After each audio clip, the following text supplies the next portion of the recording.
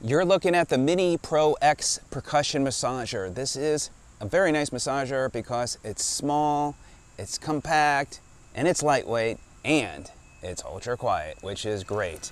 By the way, talking about lightweight, it's only 480 grams, so this is one not only that you can use well at home, but you could take on the go with you. And as you can hear, it's ultra quiet, so you're not going to be disturbing nature or anyone around you. Uh, this gets up to 3,200 beats per minute. So it's gonna certainly give you a very nice massage and it's got four different speeds, which is great. You're also gonna get up to uh, between one and a half and three hours of massaging. So depending upon how much force you're using and what speed, keep that in mind. Uh, this is an aluminum steel massager as far as the material. And this is a six amplitude percussion massager. So what that means basically is how much this is penetrating and goes deep into the muscle. Many percussion massagers you might see like 10 to 12, so keep that in mind.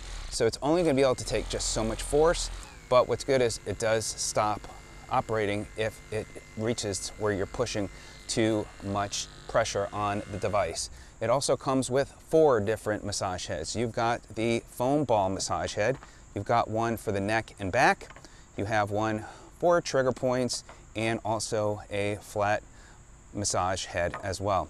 It uses a type C connection for charging.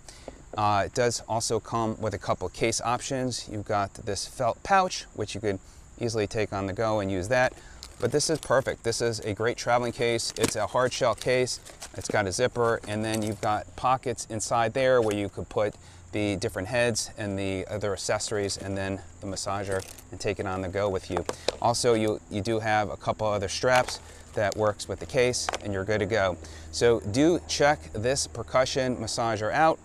It's lightweight, it's also compact and great to take on the go with you. So there you go, have a great day.